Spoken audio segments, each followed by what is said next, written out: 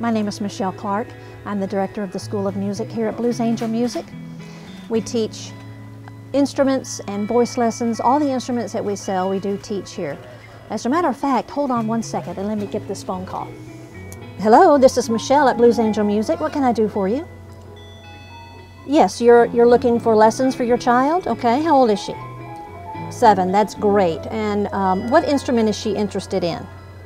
Guitar, okay. She has a guitar because you have to have an instrument in order to take the lesson, so you want to be able to practice at home. All right, well look, I have a, an opening on Wednesday at 5.30. Remember the lessons are 30 minutes long.